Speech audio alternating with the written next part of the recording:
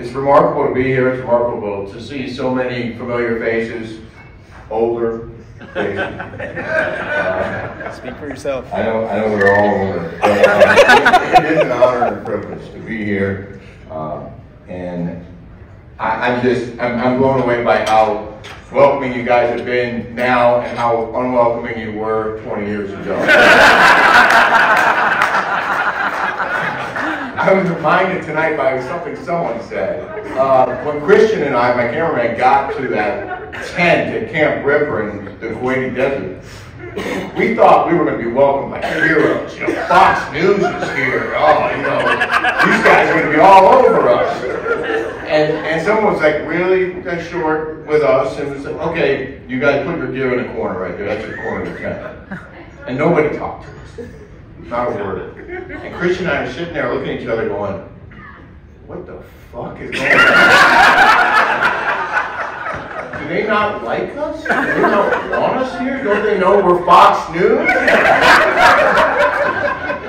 Um, it, it took a little while uh, to gain the trust and I guess respect of you guys, and it was it was it was great to earn it uh, because it was the most incredible experience of my career, one of the most incredible experiences of my life altogether, uh, and it's something that I carry with me to this day. I, I, I think about it all the time. It, it, made me the man I am. It changed me in, in so many profound ways, and I, am just going to go off. I'm not even going to read my notes because I, I, I just want to tell you from the heart that that experience changed me. Uh, being in the desert for, and I, nine weeks for me was a really long time. And I know you guys were there for months and in some cases years. And I went home a changed person. I was a shell of what I was when I left. I lost 18 pounds, but that wasn't why I was different. I mean, I looked pretty good. I was really dirty. but I just, you know, I, I, I couldn't believe how people took everything for granted. And I couldn't believe how the little things uh, meant so much. Like, I didn't have a cold drink for nine weeks. I didn't have a warm bed to sleep in. Um, and I didn't have a shower for 31 days. And, you know, I, I went home and I was just like, you people have no idea what it's really like out there. You have no idea what's, what, you know, you, you don't know suffering. You don't know sacrifice. And you guys know sacrifice. And you know suffering.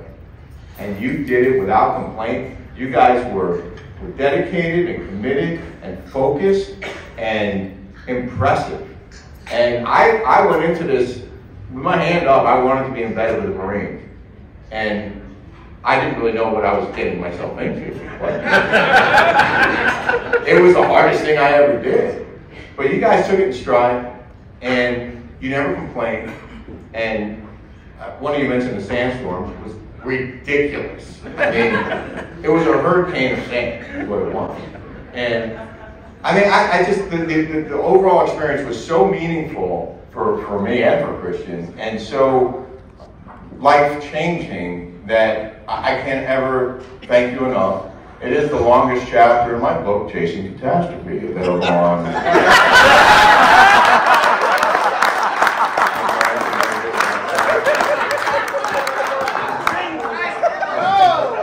I, I will send anyone to a copy. I'll sign it for you. 1995. no, I'm serious. You know me, Rick Kelly Biz. I, I, I, you a copy. Um, or you can purchase an audio.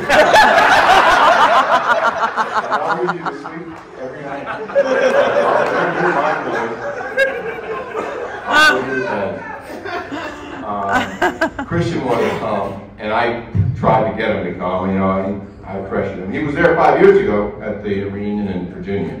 But he did send me a message he wanted me to pass along. Um, he said, first of all, warm hello. Warm hello. He said, I had the adventure of a lifetime with those guys. I appreciate every single one of them. Have fun.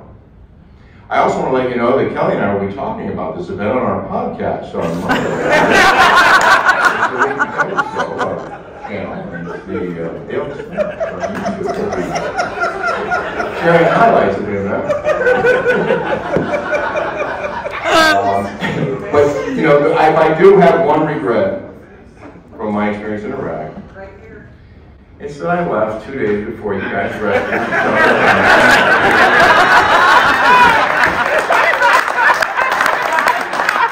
You want to talk about feeling like an asshole? We debated this, Christian and I, for a while. We really wanted to go to Baghdad, and you guys weren't going into Baghdad, you were going around Baghdad, and our whole point was to get to Baghdad. So we managed to arrange for a transfer to the 223 Marine Reservists who were awesome. But it must have been, I don't know, two or three days later, I find out that General Clarity, I think, I don't know, was it, was it Alpha Company or was? Delta. Delta. Sorry. No, my bad. You kick my ass when I'm, I'm done. I We're gonna do it now? We're gonna be on camera.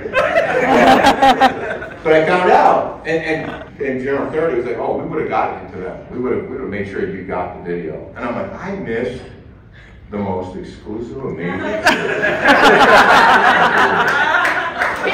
History making! History making! History making, History Shoshana making Johnson rescue. By Delta Company of the 3rd LAR, and we were with you guys for weeks. Two days after we leave, and, and was like, I don't know what we're gonna be doing, we're just gonna be driving around. Like, You're probably better off going to Baghdad, and sure you'll see more action over there. And when I heard that they rescued you, Shoshana, my heart dropped to my stomach. I was so like devastated. Because you missed the story.